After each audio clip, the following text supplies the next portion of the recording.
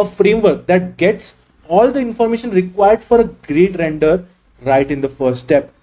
It goes through all the parameters that are required for a great render like lighting, camera, aspect ratios, what sort of character composition and angle and you just have to answer in terms of A, B, C, D and it would generate all the prompts in one go and generate the images for you. Let's take a look at it in action.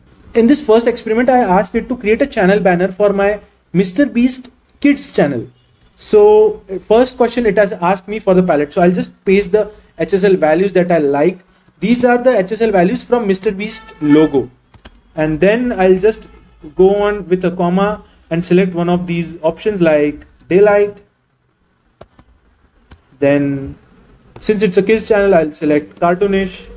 It will reiterate my choices and based on that create four custom instructions that would go to DALL-E. So as you can see, it has given me four really cool renders for the Mr. Beast channel.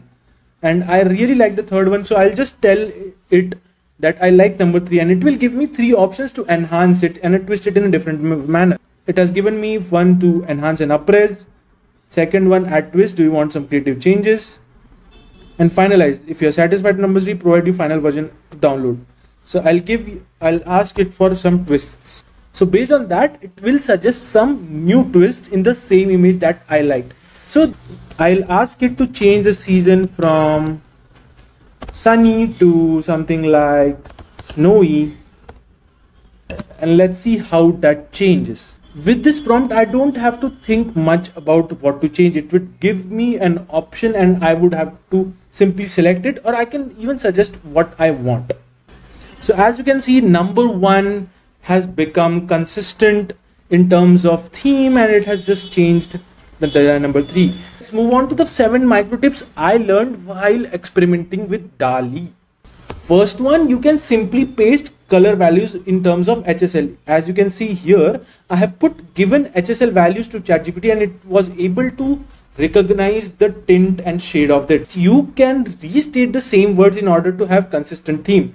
In this example, I forgot to add that the theme has to be constant and then it generated a different image. You can even incorporate this aspect in custom instruction.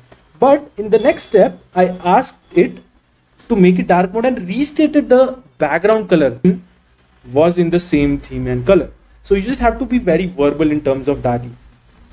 Second, you can use ChatGPT Vision for prompting. I asked, put a random illustration in there and asked it to describe it for DALL-E. And then after that, it was a long description. So I shortened it with this prompt create a DALL-E prompt for this image and it, you'll, you just have to simply copy paste.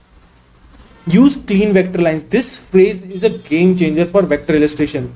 The one on the left hand side was generated by DALL-E. I thought it was because of low resolution. I even upscaled it with other AI tools, but I was still getting this sort of artifacts. Then I prompted ChatGPT to have clean vector lines and it generated a vector like this. With same resolution, it was very cleaner. So that is a game changer. You can even have keywords like that to enhance your render. Your downloads folder is a mess. You can use this video to know how to organize it with AI and I will see you in the next one.